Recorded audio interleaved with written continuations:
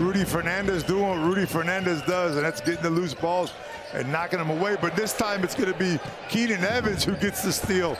A la Rudy Fernandez, he steals it from Sergio Llull. And they continue to put the pressure on them. And there's a timeout on the floor with 4.36 to go in the second quarter. Maccabi Tel Aviv with a chance to build on the Yabusele as soon as he makes the move. Oh, Derrick Williams off the mark. Nicely defended by Real Madrid, not the foul. And here comes Heurtel. Oh! Evans beats him at the basket, cleans the glass. Quarter. Madrid's bench has scored 14 tonight. They're starting five. Nice crossover at Wilbekin. Kicks over Evans. Haven't seen him shoot from three yet tonight, but he'll knock it down from two. As it's Keenan Evans doing his thing. Wilbekin looking for an opening.